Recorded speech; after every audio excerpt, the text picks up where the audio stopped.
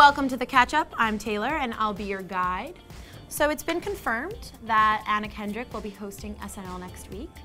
What has not been confirmed is the musical guest, but I think we can all pretty much agree that it's probably just gonna be Anna Kendrick doing Cup six or seven times, which I'm fine with.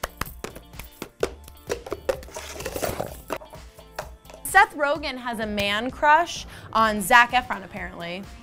Like, why do you think this is groundbreaking? That's like in the 90s when someone asks you your celebrity crush and you're like, I don't know, Johnny Depp, I don't know. Like, is, does anybody even like him? Like, yeah, everybody likes him. He's gorgeous and beautiful. And people pay him millions of dollars to be in terrible movies just so he'll be shirtless. Like, you're not, I hate you so much, Seth Rogen. I'm kidding. No, I'm not. I'm really pissed. High School Musical is like my go-to when I'm sick. I know all the dance moves and the songs, and I also have some like creative last-minute costumery that I employ. And um, I kind of just basically do the whole, well, I do like a three-hour version for my cat Rosencrantz. She loves it. No introduction needed for this next celebrity because it's Samuel L. Jackson.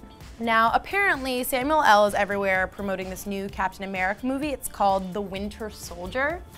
I'm probably not gonna check it out because I live on the East Coast and I've sort of just been living the Winter Soldier endlessly for the past few months, like for the past, I guess if I had to estimate, 14 months. It's gotten to the point where I'm just sort of like obsessively checking AccuWeather on my work computer, and then I'm also obsessively checking the weather app on my iPhone, which is really frustrating because I don't need to know that it's been 65 degrees in Cupertino for the past 47 months. I don't need to know that. I don't even, I don't know why that has to be on, it doesn't affect, it doesn't affect, I'm not going, I'm not going there. I'm so pissed. Anyway, Samuel L. appeared on The Tonight Show. It gets better. Um, he performed slam poetry. It gets better, shut up. He performed a poem based on Boy Meets World. I super appreciate this because one of my best pieces of advice, that's tough, get a helmet.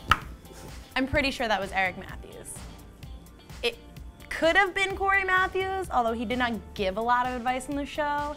And most of Shawn Hunter's advice was sort of like after a hard lesson learned, possibly a Feeneyism, but I doubt it. I like think I know my BMW.